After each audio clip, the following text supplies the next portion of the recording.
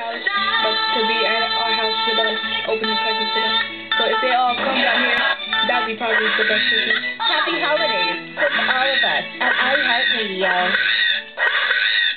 Now, your iHeartRadio new release rundown.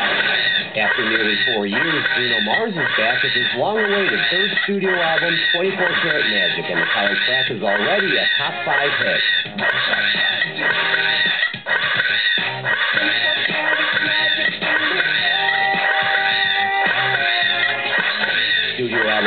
Six for Miranda Lambert, The Weight of These Wings, is also out, with the hit single Vice leading the charge.